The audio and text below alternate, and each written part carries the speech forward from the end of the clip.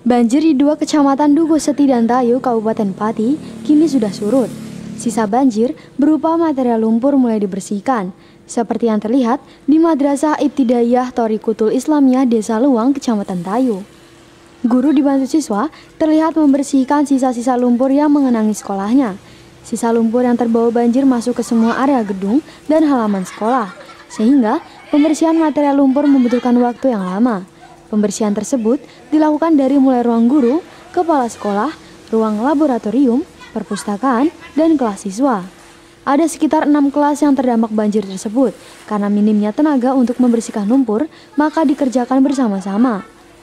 Kepala Sekolah Madrasah Ibtidayah Torikutul Islamiyah, Suyuti mengatakan, Akibat banjir maka perlu pembersihan secara gotong royong, guru dan siswa karena minimnya tenaga.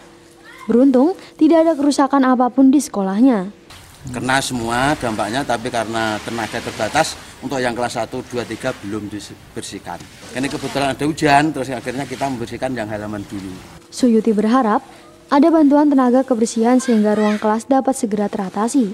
Selain itu, perlu diadakan rehabilitasi pegunungan Muria agar jika curah hujan tinggi air tidak langsung meluncur ke bawah dan mengakibatkan banjir. Tim Liputan Cahaya TV